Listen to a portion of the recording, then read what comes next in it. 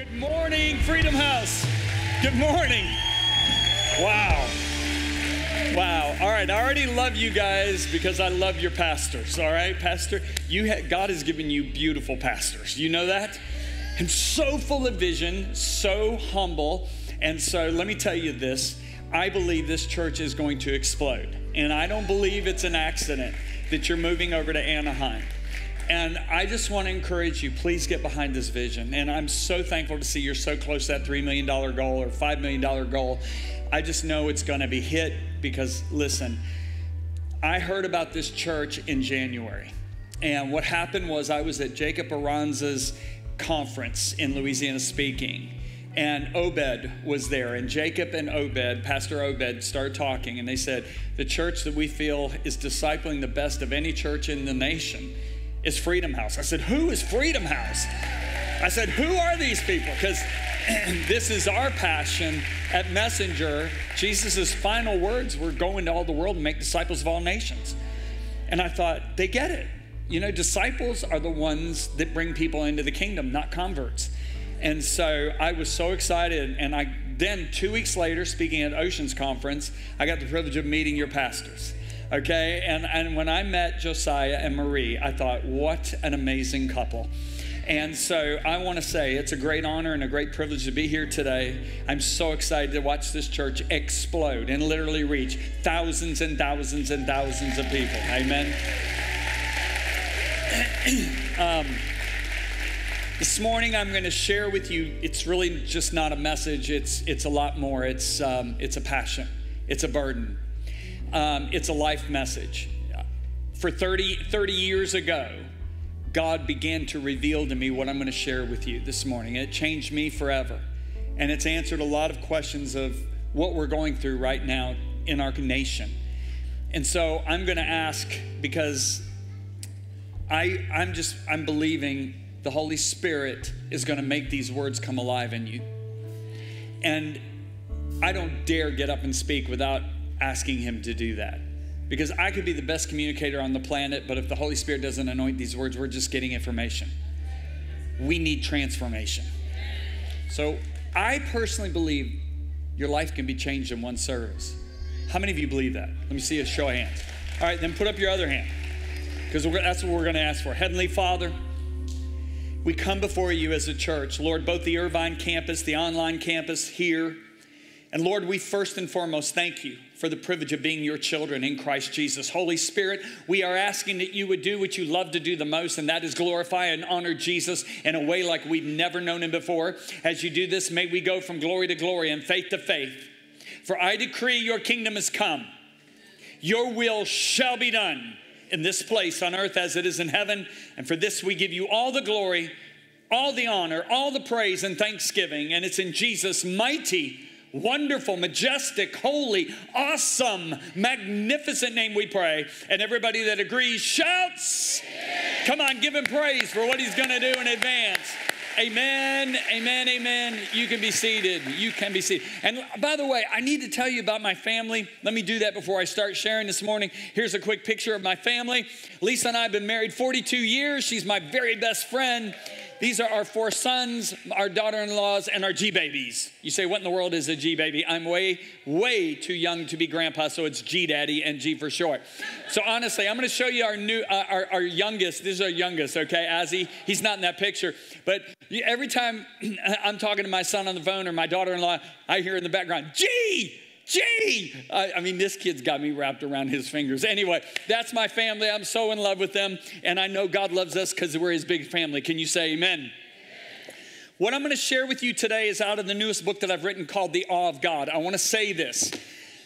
There is no way I can cover what's in this book today. It's 42 chapters. Now, they're all six page chapters, but 42 chapters. I'll probably cover about three or four chapters today at most. So I want to say this I believe this is one of the most important messages God has ever entrusted me to bring the church. And I'm asking that if it touches you today, please don't stop with just the message. Get this book and get in it and get this established in your life. Amen. I'm going to open up with three verses of scripture. Scripture number one is Isaiah 33, verse 6.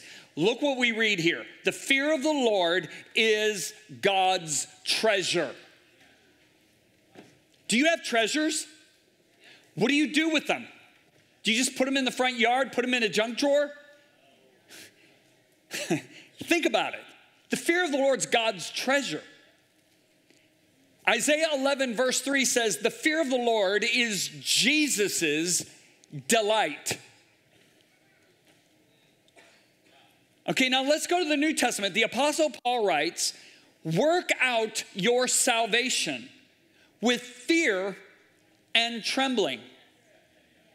Notice it's not love and kindness, it's actually fear and trembling.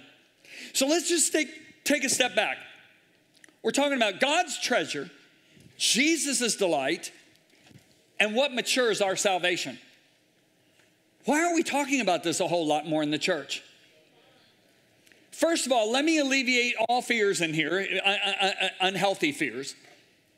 The fear of the Lord is not to be scared of God. How can you have a relationship of intimacy? And let me say this right up front God's more passionate about being intimate with you than you are with Him. So, how can you have a relationship of intimacy with somebody you're afraid of? If you remember, when Moses leads Israel out of Egypt, he brings them to Sinai, correct? And God says to Moses in a private meeting, Hey, Moses, tell all these people the whole reason I delivered them out of Egypt was to bring you to bring them to me. I want all of them to be a kingdom of priests and a holy nation. In other words, a priest is somebody who can come directly to God for the sake of himself or herself or other people. So God says, I want all three million of them to be just like you. They should be able to approach me. And I'm going to come introduce myself. So God comes down on the mountain, and when he does, the people all scream and run away. And Moses makes this statement to the people. Look at Exodus 20 20 up here on the board. He said, Do not fear. Everybody say, look, look, look. Do not fear because God's come to test you. What's the test? To see if his fear is in you so that you may not sin. Wait a minute. Do not fear because God's come to see if his fear is in you? Is Moses talking out of two sides of his mouth? No, he's differentiating between being scared of God and the fear of the Lord. There's a difference. The person who is scared of God has something to hide. What does Adam do when he sins against God? He hides from the presence of God. The person who fears God has nothing to hide. That person's actually terrified of being away from God. So, if you want your first definition of the holy, healthy fear of God, it is to be scared even further, terrified of being away from God.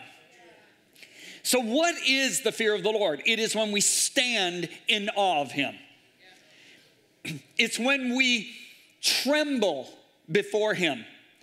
When we honor what he honors, we esteem what he we, we esteem him, we honor him, we reverence him above anything or anyone else. When we do this, now listen carefully, we take on his heart. So now we love what he loves and we hate what he hates. You say, whoa, whoa, whoa, whoa, wait, hate? Yes, hate. You say, God hates? Yes, God hates. Okay, now let me alleviate more concerns. We all know legalism kills people. All right, God hates legalism. The legalist is the one that makes a statement like this I fear God, that's why I hate those sinners. No, that person doesn't fear God at all because he hates who God loves. God loves those, quote, sinners so much, he sent Jesus to die for them. What God hates is the sin that unmakes the object of his love.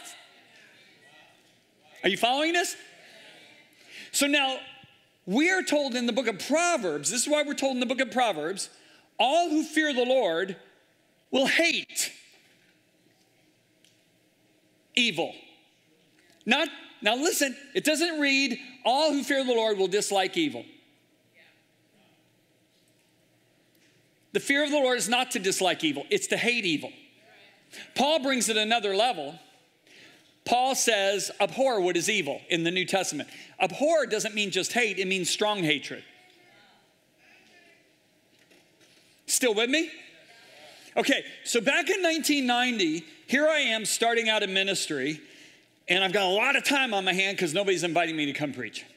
So I'm praying two hours every morning, and then I'm spending time in the Bible, right? And I would stand up to preach, and when I stood up and preached, there was no authority on my preaching. There was no, there wasn't a strong anointing. Do you understand that word, anointing? And so one day I'm in prayer and I'm like, God, I don't get it. You've called me to preach. I left the corporate world to, for ministry. Yet I pray two hours a day.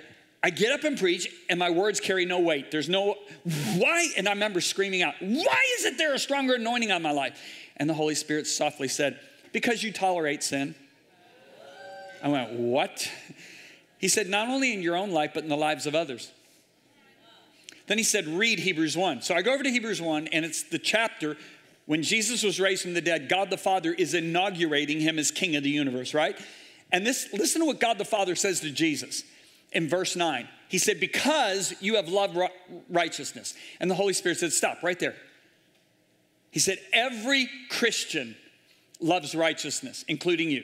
He said, But that's not all I said. Because you have loved righteousness and hated sin or lawlessness.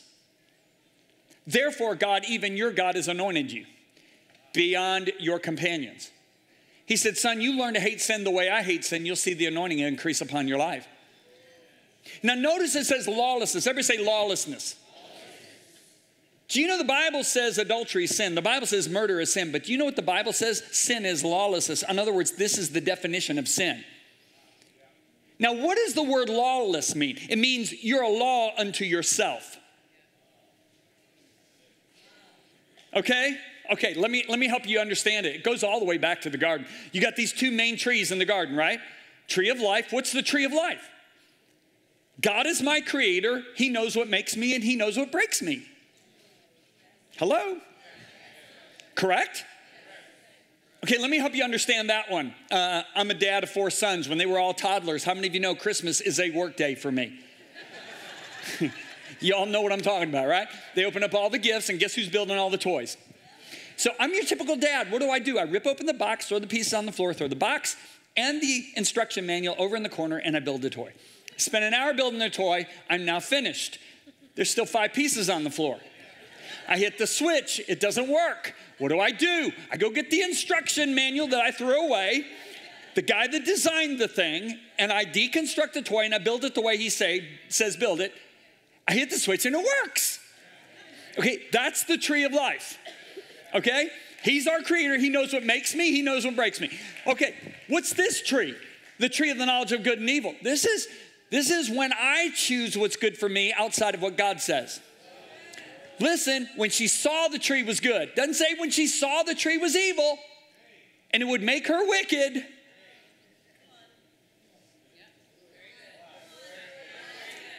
That's lawless. I choose what's good for me outside of what he says. So when you put a pair of pants and a dress up in front of a 12 year old and say, which one are you drawn to? You are saying, well, listen, you are saying, forget that you were fearfully and wonderfully made by your Creator in your mother's womb. You choose what's right for your life.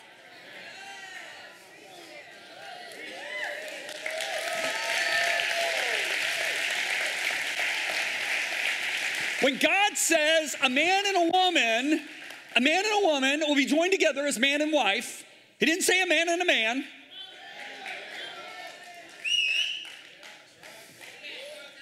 But I know more than my creator.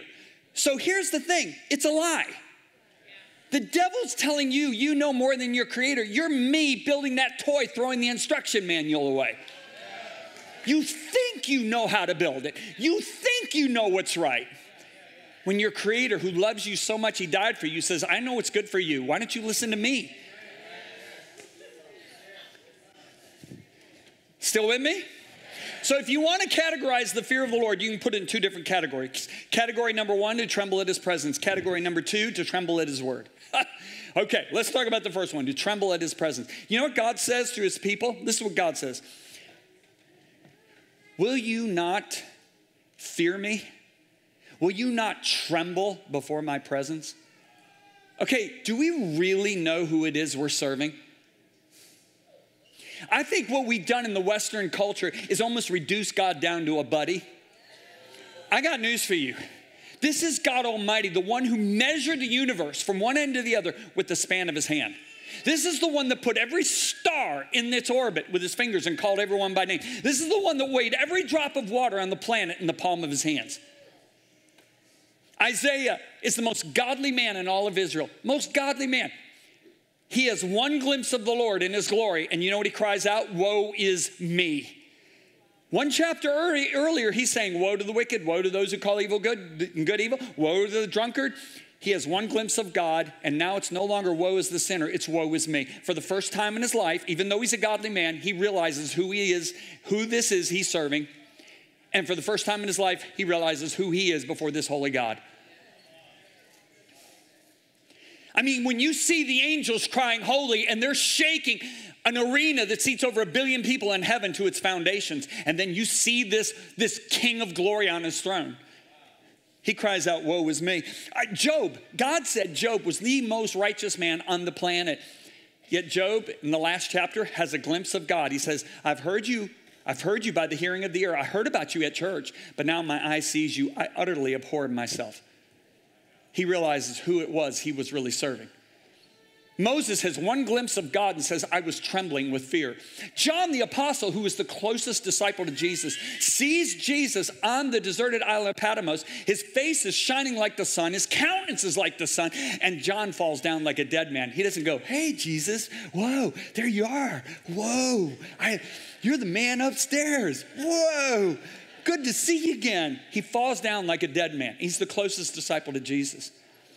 We got to remember who it is we're serving. i will never forget 1997. 1997, I'm asked to speak in the nation of Brazil at their national conference. I had never been to Brazil. I was so excited. Not only I, was I asked to being speak, you know, in Brazil, but their national conference. And I remember flying down. There was over 300,000 people in the church network and they drive me to the arena, and this is an arena, okay? And the place was jam packed. I walk up on the platform because back in the 90s, they put us pastors on the platform. I don't know why they did that, but anyway, make a spectacle out of us, but it was good because I'm, I'm, I'm standing there and I'm listening to probably the most gifted musicians in the nation, and there's not a drop of the presence of God in the whole arena. Now, please understand, there is the omnipresence of God. That is the presence that says, I'll never leave you nor forsake you. David says, if I make my, my, my bed in heaven, you're there. If I down the lowest valley, you're there. But the other aspect of Christianity is his manifest presence. Jesus said, I will manifest myself to you. What does that mean? That means to bring from the unseen realm into the seen realm, the unknown realm into the known realm, the unheard realm into the heard realm. It's when God reveals himself to your senses. That's a real part of Christianity. That presence is nowhere to be found in that arena. And this is a, this is a believer's conference. And so I, I, I, I remember closing my eyes and I said, Lord, where's your presence? And I open my eyes and I see something I don't notice before. I see people standing there with their arms crossed looking around. I see people with their hands in their pocket looking down. I see people talking to each other. People are walking up and down the aisles, going to the concession stands around the arena, getting their soft drinks or their tacos and going back, seeing somebody they know, high fiving them. And I'm like, really? This will stop. But it doesn't. They go through the whole worship set. Now the music stops. Because the music stops, you can hear a rumble a, a low rumble coming from all the conversation that's going on. And then I watch the leader come up and begin to read from the Bible, and they're still talking, walking around, and all this stuff. And I'm like, are you kidding me? And the Holy Spirit speaks to me right there and says, Son, you got to address this. I said, Yeah, but how do I even get their attention? And he gave me an idea. So they introduced me, and I remember walking up to the podium, my translator's right there, and I just sat there and stared at everybody and didn't say a word. Not a word. Now, when you're the Friday night guest speaker of the national conference and you've been introduced and you're just sitting there staring at people for 60 seconds saying nothing, that will get their attention. All of a sudden, everybody stopped talking. They looked, they're, they're looking, and, and, and 60 seconds later, when I realized every eye in the place is on me, I go, There is no way I'm saying, Great to be here. Thank you for having me.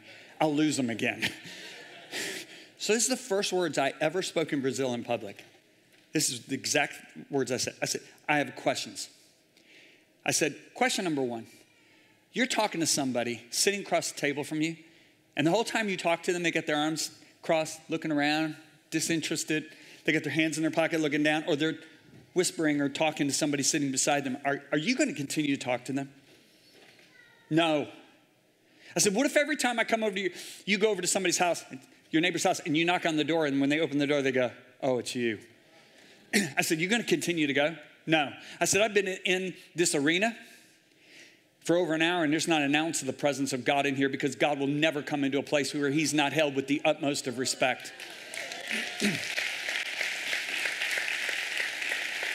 I said, Psalm 89, verse 7 says, God is to be greatly, not a little bit, greatly feared in the assembly of the saints and to be held in reverence by all those who are around him. I said, You will never find his presence where he's not held in reverence. I said, if the president of your nation would have walked on this platform tonight, you would have given him 10 times the respect you did to the Spirit of God. I said, if Pele, your greatest soccer player in Brazil's history, I mean, he's the Michael Jordan of Brazil. I said, if he would have walked on this platform, you would have been on the edge of your seats anticipating every word. You've given no respect to the Spirit of God. And for the next 75 minutes, I preached him on the fear of the Lord. After 75 minutes, I said, All right, you're in here, you say you're saved, you say you're born again, but you lack the fear of God and you're willing to repent, stand up. 75% of the arena stands at their feet. As soon as they stand, the presence of God falls in the arena, people start weeping. I'm like, finally. so, so it's so wonderful, right? The presence of God is so beautiful. People are, so the Lord says, lead them in a prayer of repentance. So I led him in a prayer of repentance, but then all of a sudden his presence lifted. And I'm standing there, and the Spirit of God said, I'm coming one more time. Now, there's no way I can adequately describe what happened next but I'm going to try. I want you to imagine being at the end of the runway at LAX airport and a Boeing jet takes off. That kind of a violent wind came blowing into that arena. When it did, the people started screaming. Now, can you imagine thousands of Brazilians screaming? The wind was louder. I will never forget this as long as I live. I am standing there and I'm petrified. Do you understand what I just said? I am terrified, but yet I'm drawn to it. It's the weirdest thing to try to describe. You're petrified, yet you're drawn. And I remember I am standing there and I'm going, oh my God. I had never sensed an authority or a presence like that in my life. It was awesome. And I remember the thought goes through my mind. I'm, I'm telling you, this went through my mind. But you say one wrong word, you make one wrong move, you're dead. Would that have happened? I don't know, but there was a husband and wife who were members of the Jerusalem church that came to a service and they brought an offering and they came with that kind of an attitude, irreverent attitude, and they fell over dead and they buried him that, that day. I knew irreverence, because let me tell you something daddy didn't come in the king came in. And I'm standing there for 90 seconds listening to this wind blow and these people scream, and I'm petrified. And I remember it gradually subsided. When it subsided, it left a, literally a wake of everybody in that arena was collapsed. They were bent over the chairs sobbing. They were, they were collapsed in between the chairs sobbing. And I'm standing there and I'm going, God, what do I do? The Holy Spirit finally spoke to me and said, Son, I'm through with you. so I said to the leader, It's all yours. and I remember they, they whisked me out, they put me in the car, they put the, the soloist that night and her husband in the car. She was the, the one that sang the solo, and she screams out, Did you hear the wind? Now, I didn't want to say it, so I said, Maybe a jet airplane flew too low over the arena. She goes, What are you talking about? And her husband goes, Sir, that was no jet airplane. I said, How do you know? He said, Well, there were security men and policemen all around the outside of the arena. They're all union workers, and most of them aren't even saved. He said, When the wind blew, they start coming in saying, What is the sound of the wind coming from in here? He said, I'm at the main soundboard. Make sure my wife's levels were right for her singing. He said, The whole time the wind blew, I watched the decimal meters. They were at zero, they never moved. Not one bit of the sound came through our sound system. And then the driver says, Do you want to go eat? I said, No, take me to my hotel room. and I remember sitting on that balcony until 1:30 in the morning worshiping God. And the whole time thinking, did this really happen tonight? The next morning, you cannot believe the miracles that occurred in that same auditorium, same people, because of awe and reverence. We heard about this for 22 years afterwards. We got snail mail, we got letters, we got emails, we got. I mean, I, I went down to Goiânia, Brazil in 2016 to speak to 12,000 pastors in an arena. First pastor who met me. I was in the building 20 years ago when the wind blew. My life's never been the same. That's because you're never the same when you meet the awe of God.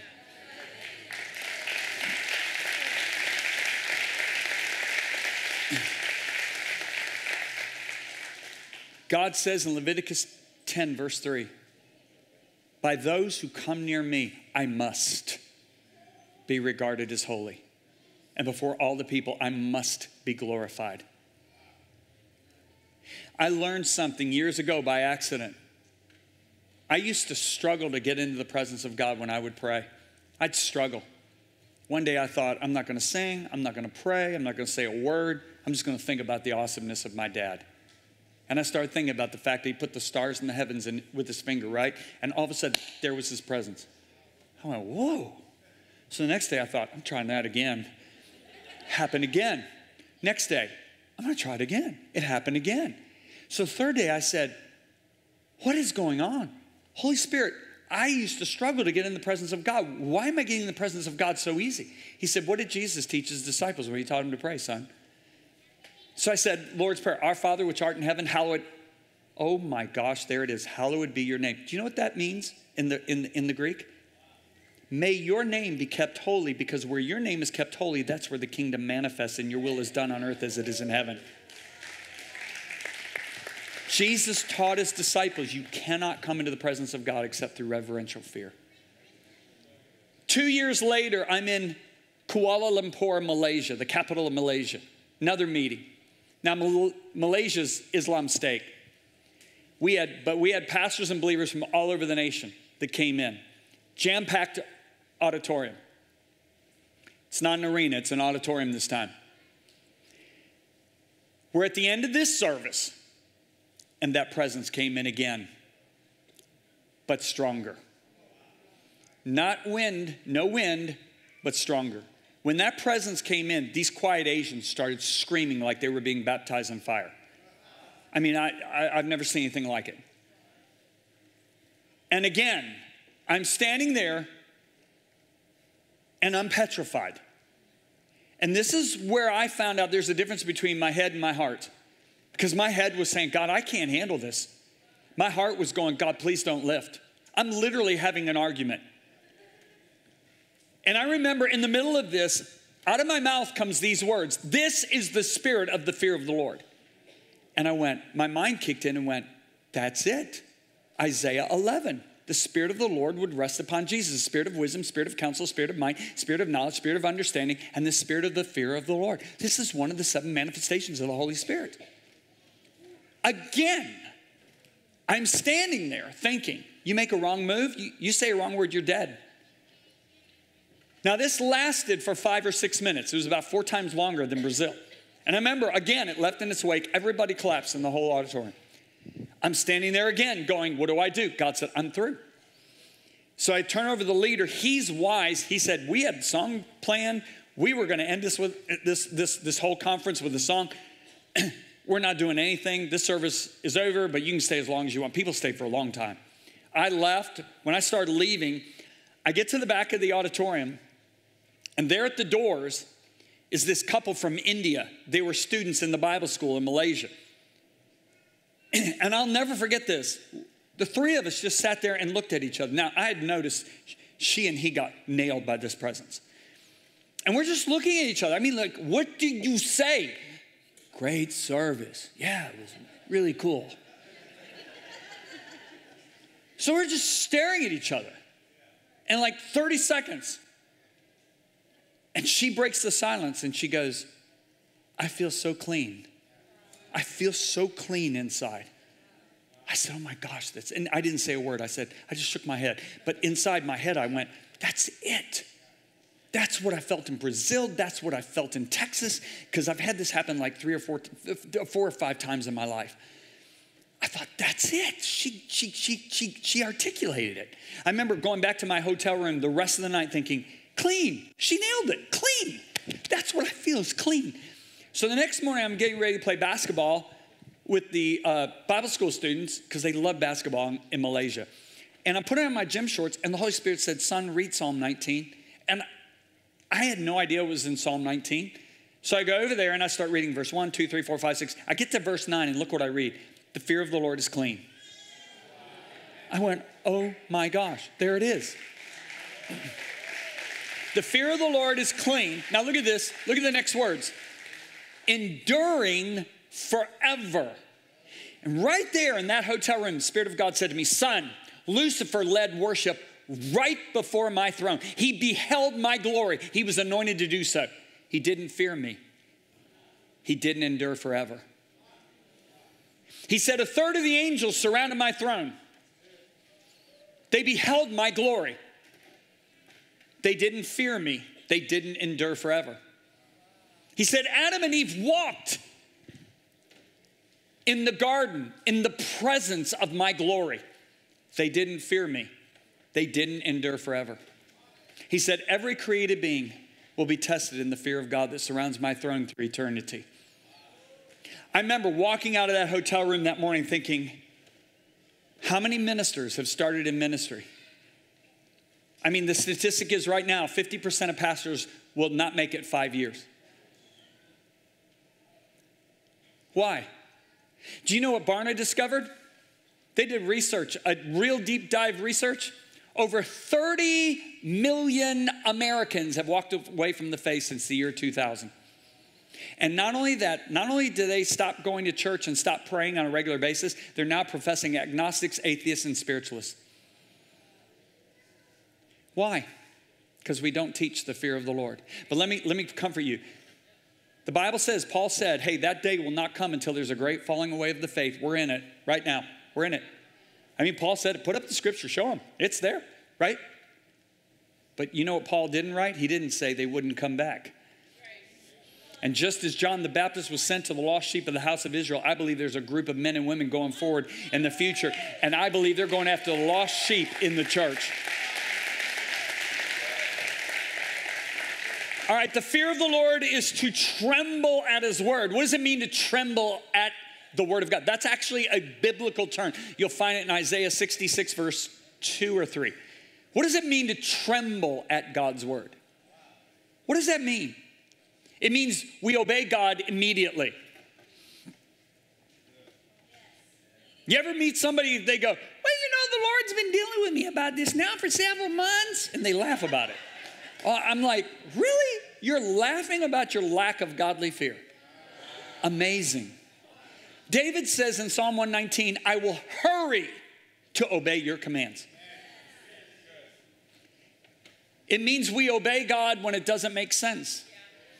Has God ever told you to do something that doesn't make sense? Does it make sense to forgive somebody that's really hurt your family? Does it make sense to bless somebody who has cursed you and caused you to lose your job? Do I need to go any more? I could go the rest of the morning. Does it make sense to spit in the ground and put the mud on somebody's eyes and then they see when they wash? Does it make sense to tell a bunch of skilled sailors not to get on the lifeboats on a sinking ship? yeah, God tells us to do things that doesn't make sense. When we tremble at his word, it means we obey God even if it hurts. The Bible says that Jesus obeyed the Father even to the point of death, a gruesome death. And Peter said, As Christ suffered for us in the flesh, arm yourself with the same mind. The religious person seeks out suffering for the God, little g, he or she serves. The Christian says, I'm going to obey God in a fallen world, and I know as a result I'm going to experience suffering. We tremble at God's word when we obey God. Now, listen, even when we don't see a benefit. We have developed disciples in the Church of America that the only way we can get them to respond to God's word is tell them the benefit. If you pray, God will do this. If you obey, God will do this. If you give, God will do this. If you serve, God will do this. Does God, now wait, does God do this, this, this, and this? Yes. But that better not be your motive. Okay, what if that was Queen Esther's motive? What do I get out of this for going before the king and risking my life? She got nothing. She's already queen. She's already got everything she wants. Now she might lose her head for obeying God. But she says, I'm going for the king. If I die, I die. She fears God. That's why we read about her.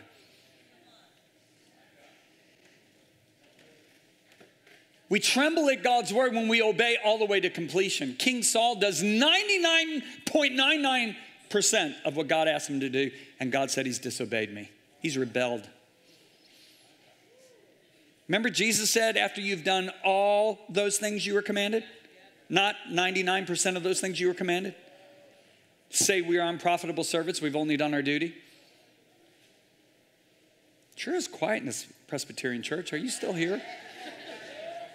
I know you're just listening. I get it. I just need you to breathe. Okay, breathe. okay. All right. Let me spend the last 10 minutes sharing the benefits of holy fear. So, in studying this, this being my life message for 30 years, I've discovered there are over 40 distinct promises that are amazing that God makes to only those who fear Him. So, now let, let, let me tell you this. a lot of times, some of these promises will say, hey, that's for me, but we don't walk in the fear of God. Like, let me give you an example. In this very place, Orange County, two years ago, I'm, I'm here and I get done preaching on Sunday, big church. And the guy walks up to me, and goes, Look, I, am single and I'm a businessman. I really need to talk to you. Uh, you know, I am single and, you know, gosh, John, I got needs and I sleep with other women and, you know, I realize it's a little wrong. And so I stopped doing it and then I just fall back into it. But that's not what I'm here to talk to you about. What I'm here to talk to you about is why isn't my business doing better? I, I'm serious. That's exactly the way the conversation went. I went, Are you kidding me? Are we that ignorant of the holy fear of God in this nation that you can literally walk up to somebody who has just preached the word of God and say this to me?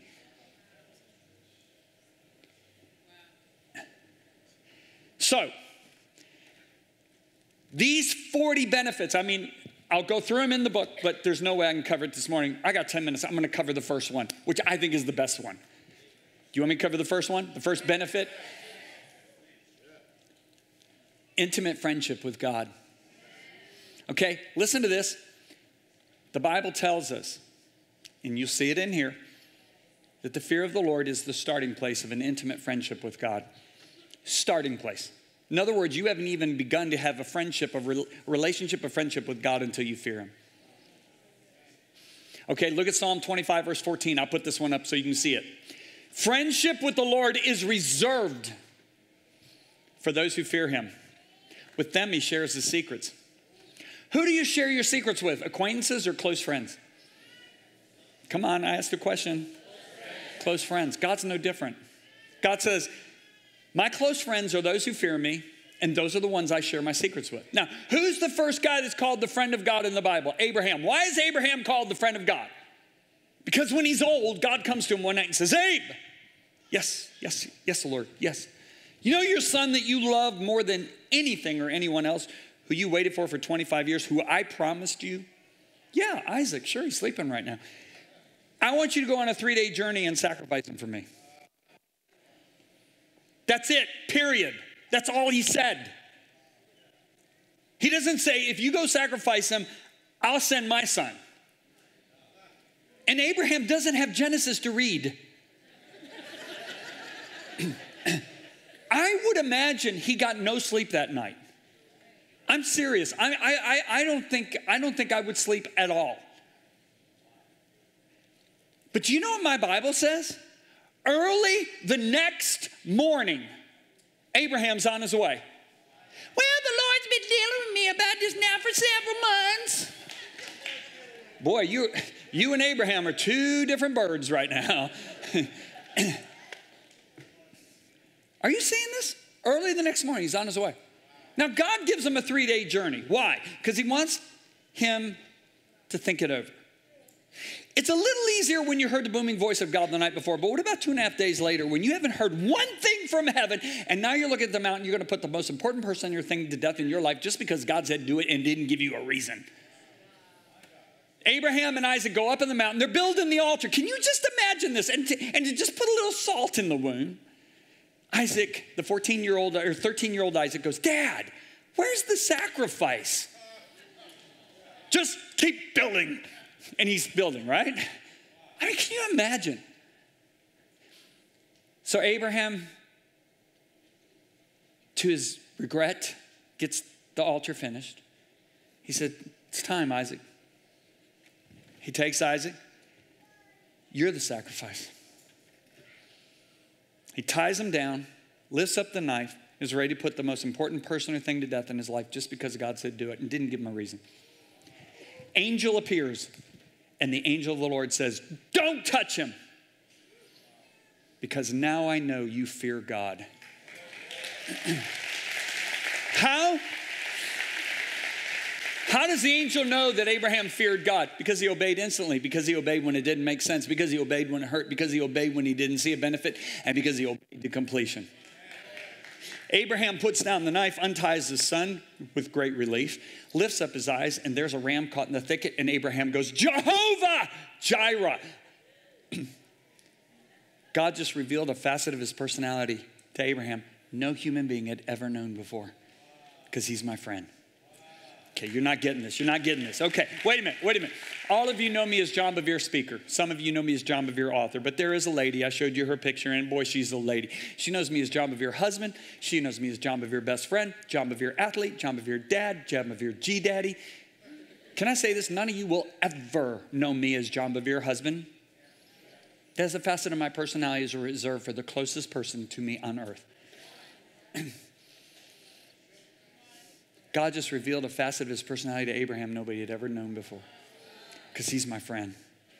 Now, look at the relationship between God and Abraham. It's amazing. One day the Lord says, Should we do to Sodom and Gomorrah what we're planning on doing without talking to our friend Abraham? So the Lord comes down by the terebinth trees. He and Abraham go over to the cliff and they look over the plains of Jordan. The Lord goes, Abe, yeah, yeah, Lord. Abe, we're thinking about blowing up these two cities. What do you think?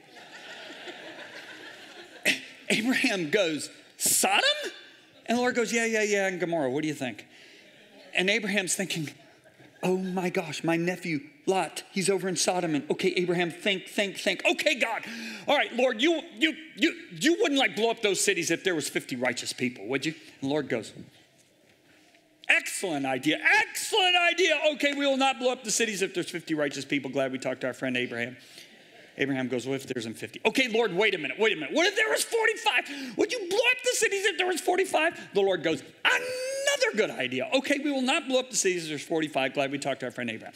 Now, Abraham talks them all the way down to 10. He figures there's got to be 10. Lot's one. All I need is nine others. But there isn't. Now, this is amazing. The Bible says Sodom and Gomorrah is buying, selling, trading, marrying, giving, a marriage, planting, and harvesting. What is that in today's vernacular? Life is great, the economy's booming, and if there is a God, He doesn't mind our lewd lifestyle. They're 24 hours away from being obliterated, and they're clueless. That is not what's scary. This is what's scary. Everybody say Lot. Abraham's nephew, Lot, who the Bible calls righteous. It does. 2 Peter chapter 2. Can I put righteous in today's terminology? Born again Christian. He's 24 hours away from being obliterated. He's as clueless as Sodom and Gomorrah. It takes two messengers of mercy because Abraham prayed. Thank God Abraham prayed to get Lot out. Now, here's two righteous men, two saved men, two born again men. One righteous man knows what God's going to do before he does it and even helps God decide how he's going to do it. The other righteous, saved, born again man is as clueless as the world. Why is that? Because this righteous, saved, born again man fears God, therefore he's the friend of God, therefore God shares his secrets with him. This righteous, saved, born again man does not fear God, therefore he is not the friend of God, therefore God does not share his secrets with him. You'll see the same thing with Moses and Israel. You say, John, is this in the New Testament? Yeah. Look what Jesus says to us. He said, You are my friends. If. Okay, now wait a minute. If is a condition. I'm amazed. We preach sermons off of this scripture, we write songs off of this scripture, but we never finish the statement. If I look at you and say, I will pay you $2,000 if you work 40 hours for me next week, and you don't work the 40 hours next week, and you come to me for the $2,000, what do I say?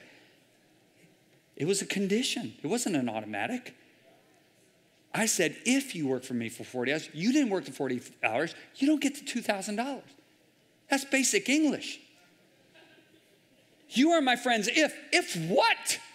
Jesus said, You are my friends if you do whatever I command you.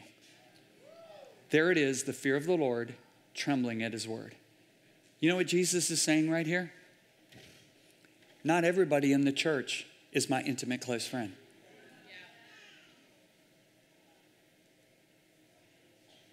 In other words, we have a lot of lots in the church in America.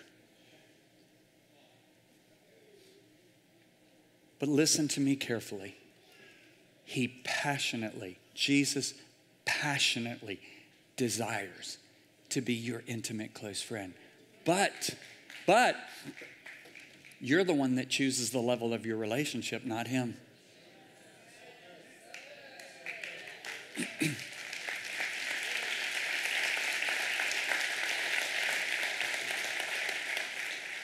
when we embrace the holy fear of God, the first benefit is we become intimate friends of God. Because not everybody in the church is an intimate friend of God. I want every